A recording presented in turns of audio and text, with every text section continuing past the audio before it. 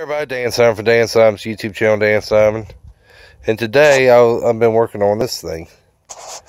And yes, this is the car I ran at Jefferson County.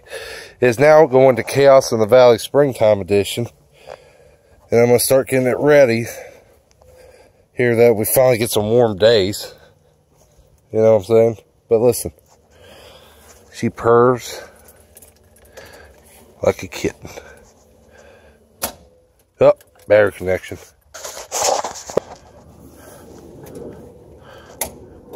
God damn it. Alright guys, let's try this again. There we go. She's alive.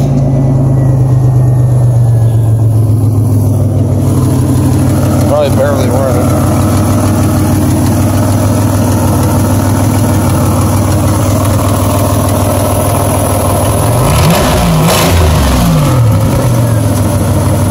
barely Brad's barely hooked up.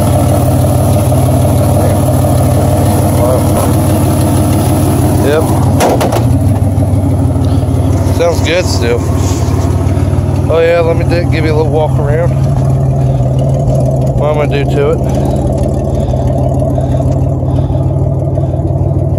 Trunk, I'm gonna try to wedge the trunk so we get a little bit more out of it. Even over here where I spent like a week creasing.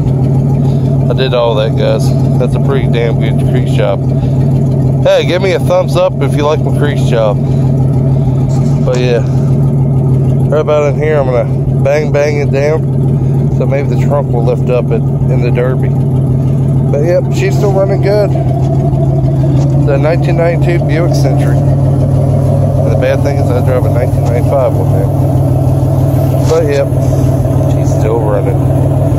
Alright guys, like I always say, please like this, please share this, and please subscribe. I'll catch you guys later. Remember, springtime edition, demolition derby car.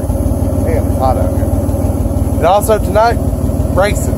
So look for racing videos. Bye guys.